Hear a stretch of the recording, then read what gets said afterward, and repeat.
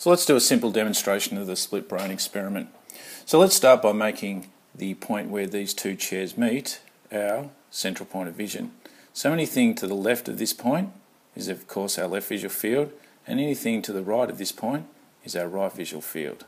So with this in mind, the pink car is being projected to our left visual field. That will be processed in our right hemisphere.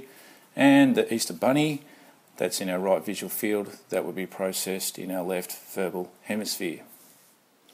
So let's just pretend that we had a tachistoscope and we briefly flashed images of these two objects to a split brain patient's left and right visual field respectively and then we asked them to identify the objects that had been presented. So in terms of the bunny rabbit, that is of course flashed to the right visual field, which therefore meant it would be processed in the left verbal hemi.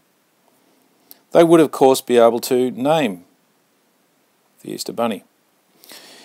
In terms of the pink car, that of course is being flashed to our left visual field, which would be processed in the right hemi, and therefore the split brain patient would not be able to name the object. They could, of course, draw it with their left hand, or they could pick it up out of a bunch of objects hidden from view with their left hand.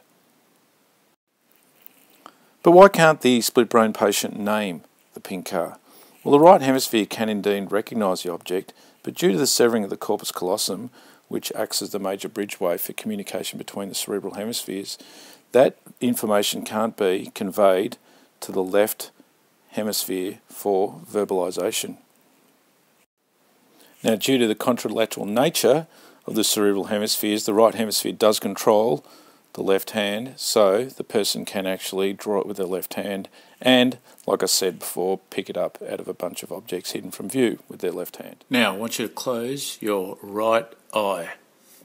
So it's important to note that when your right eye is closed, not only can you see images on your left visual field, but you can still see images on your right visual field, the bunny in this case. So it's important to note here that when the right eye is closed, the left eye not only processes images from the left visual field that will be processed in the right hemisphere, but it also processes images in the right visual field that will be processed in the left side of the retina and consequently the left verbal hemisphere. So when viewing images through the left eye, anything that's on the right visual field will in fact be processed in the left verbal hemi and we will be able to name it.